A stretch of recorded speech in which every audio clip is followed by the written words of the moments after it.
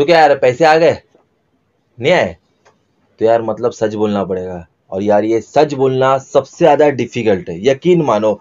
तो यार आज हम लोग बात करेंगे सड़क मूवी की, जो कि डिज्नी प्लस हॉटस्टार पर देखने को मिल जाता है। मूवी की ओवर लेंथ ऑलमोस्ट दो घंटे की है। मतलब ऑलमोस्ट मैं मान के चल सकता हूँ, क्योंकि उससे पहले ही मूवी खत्म हो जाती है। ये कहानी बिल्कुल सिंपल सी, अगर आपने ट्रेलर देखा तो आपको आइडिया हो गया होगा। लेकिन फिर भी मैं आपको बताया था कि विवान, यानी कि विद्युत जमाल जो कि मैरिड है, अब इनकी वाइफ को कुछ ऐसी चीज़ें हुई है जिसकी वजह से ट्रीटमेंट करना बहुत ज़रूरी इसलिए वो हॉस्पिटल जाते हैं। अब हॉस्पिटल जाने के बाद कहानी में क्या ट्विस्ट एंड टर्न्स आती है सब कुछ जानने के लिए आपको ये मूवी देखनी पड़ेगी। देखो, मैं ये स्पॉइलर रिव्यू इसके लिए इससे ज़्यादा नहीं बोलूँगा। लेकिन अगर मेरा पर्सनल ओपिनियन बताओ कि भाई ये मूवी मुझे कैसे लगी तो यार ये मूवी एक टाइम पास लगी।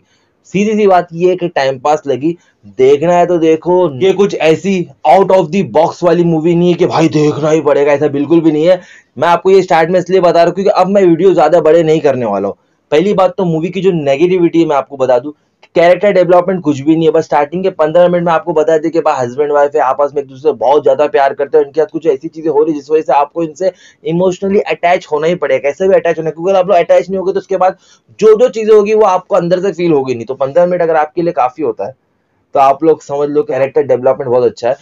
लेकिन लेकिन उसके बाद पूरी की पूरी मूवी सिर्फ़ और सिर्फ़ प्रिडिक्टेबल है। ये तो रही इस मूवी की नेगेटिविटी लेकिन अगर पॉजिटिव पॉइंट की बात करें तो मूवी में ज़बरदस्त एक्शन सीन्स है जिस वजह से विद्युत जमाल को लोग पसंद करते हैं। और यकीन मानो मूवी के 15 से 20 मिनट बाद जो एक्शन सीन स्टार्ट होते हैं तो वो एंड तक रहते हैं। और जो मार्शल आर्ट्स यहाँ पर बताया है, और विद्युत जमाल की मूवीज़ में ये एक जो स्पेशलिटी होती है ना, वो उन्होंने इसमें भी बरकरार रखी क्या वो मूव्स करते हैं। और इतना आसान तरीके से उनकी मूवी में मार्शल आर्ट होता है कि हमको भी ऐसा लगता है यार, हम लोग भी कर सकते जो कि नहीं कर सकते, लेकिन फिर भी वो इतनी अच्छी तरह से प्रेजेंट करते ये एक परफेक्ट मार्शल आर्टिस्ट विद्युत जमाल जैसा कोई भी ऐसा एक्टर नहीं है, पूरे इंडियन फ़िल्म इंडस्ट्री में जो मार्शल आर्ट को इतनी अच्छी तरह से करे। भाई, आप टाइगर श्रॉफ का नाम या अक्षय कुमार का नाम मत लेना। सच बता रहा है, ये उनसे भी बेटर है। और इस चीज़ के लिए विद्युत जमाल की मूवीज़ मुझे बहुत अच्छी लगती है, लेकिन इस पर्टिकुलर मूवी के लिए मैं एक ही चीज़ बोलूँगा यार, कहानी में कुछ भी नयापन नहीं लगा ऐसा लगा कि यार, हमने इस तरह की मूवीज़ बहुत बार हॉलीवुड में देखी तो यार, एक नयापन होता है, वो नहीं था। और एक जो थ्रिल होना चाहिए एक ट्विस्ट एंड टर्न होना चाहिए, वो भी बिल्कुल नहीं था। बस एकदम सिंपल सी कहानी आगे बढ़ते रहे, बस वही एक्शन एक्शन एक्शन कुछ भी प्लॉट में ट्विस्ट नहीं। तो यार, मुझे तो ये समझ में नहीं आया। इस वजह से ये मूवी मुझे टाइम पास लगी। लेकिन अगर आप लोग एक्शन लवर हो तो भाई ये मूवी देखो, आपको बहुत अच्छा लगेगा। अगर सिनेमेटोग्राफी की बात करें तो एक्शन सीन्स को बहुत ही अच्छी तरह से कोरियोग्राफ किया, उनको बहुत अच्छी तरह से शूट किया बीजेम भी मूवी का अच्छा सॉन्ग्स की बात करो तो ज़्यादा सॉन्ग्स नहीं है, लेकिन जितने भी है वो सुनने में अच्छे लगते हैं। और अगर एक्टर्स के परफॉर्मेंस की बात करूँ तो नेहा धुपिया की बात करें कोई फ़ायदा नहीं, क्योंकि मैं मैं तो नहीं मानता कुछ भी।